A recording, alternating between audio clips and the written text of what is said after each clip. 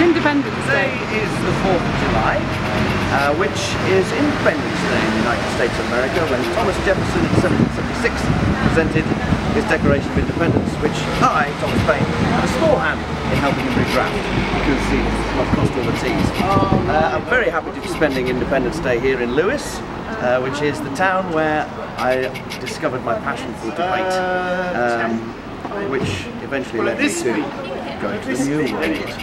Um, and it's a gorgeous sunny day. So, happy Independence Day. Thank you.